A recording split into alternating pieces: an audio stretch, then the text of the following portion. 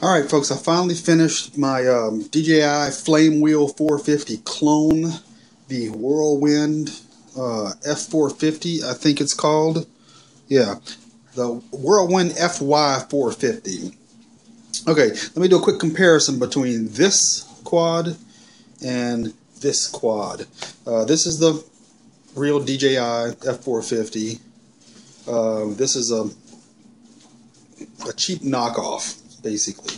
So basically what I put together here is I've, I've um, I'm using the Hobby King 2210N 1000 kV motors. I'm using APC 9x47 props with collet adapters, oops, with collet adapters on it. I'm using the Hobby King KK 2.0 board, flash with version 1.5 software an El Cheapo $5 receiver. I know this is a bad idea, but uh, I had a couple laying around and it seems to work okay for short flights. Anyway, I'm, I'm talking serious budget here. This is serious budget. And what we're going to do is I'm going to talk about some things that you probably need to spend a little bit more money on. But for now, um, yeah, I'm flying this on a 3-cell, and I'm using Turnigy Plush 18 amp speed controllers. Um, I did the maiden flight today, and it flew okay for a maiden flight. I'm going to attach that video here at the end.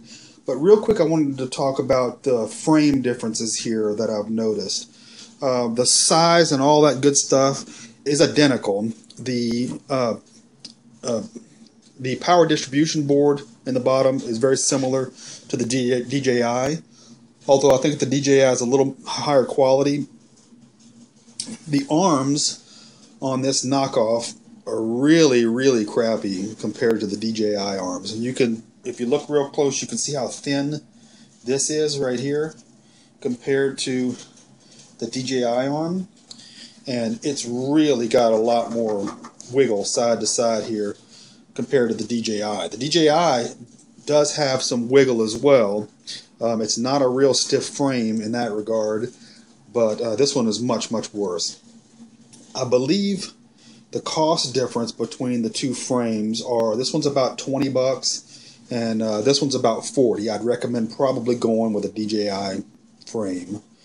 Um, you can get arms for this, the DJI arms for I think four or five bucks a piece. Uh, but you're going to spend another 20 bucks. You might as well get the DJI frame, in my opinion. Uh, these motors, these Hobby King motors, I'm using the 800 kV version on my tricopter. Um, and I'm using prop savers on them. And I'm doing that because I'm using the GWS props and they have a tiny little hole in there and they fit perfect on the prop savers. There's no wiggling or anything like that. I've had a terrible time mounting APC props on prop savers. They always get kind of wobbly and wiggly and I can't get them to, to work just right. So I have to use the collet adapters and I don't like these collet adapters. These are uh, uh, lesser quality more than likely and I usually always have balance problems with these things. It's like they're never perfectly on. I got my own a set of Hyperion collet adapters. Uh, that'll add about another 20 bucks to the to the build here but I'm not 100% sure I'm going to stay with these motors. These motors with these props uh, have plenty of power. I don't know what the uh, flight time is yet but uh, the cans were not well balanced. Three out of four were out of balance.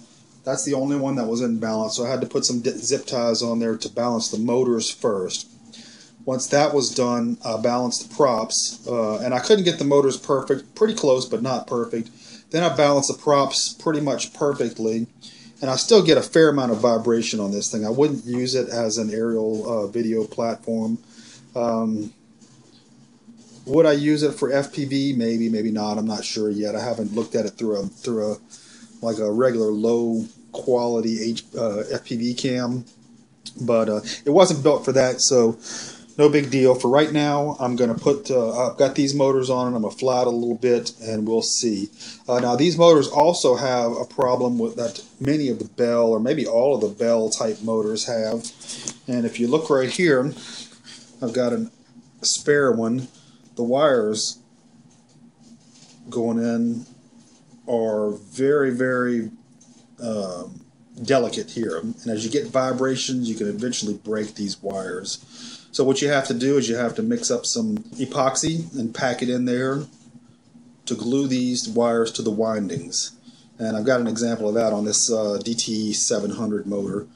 Same style motor, much bigger, but uh, I've got the wires glued down so vibration is not going to hurt that at all. And it doesn't matter, you're not, you know, the only thing that spins here, you should make sure you don't get the glue on the magnets. And make sure you don't get the glue where the, um, where the prop mount goes but uh, you can cake the glue in there and it's not going to hurt anything. So anyway, I've done that to all these four motors. I have um, balanced them the best I could and it flies okay. I've got a lot of tweaking to do on this KK 2.0 board. I've got the gains up pretty high, maybe too high.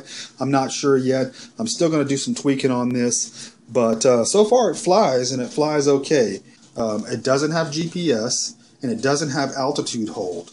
So I'm not sure I'm going to stay with this board. I've got it on here right now for flying, and more than likely I'm going to wind up putting a um, MultiWii board on there with a barometer to give altitude hold or something else. But I recalculated this, and I think it's about $135 it took me to build this quad and get it in a flyable state.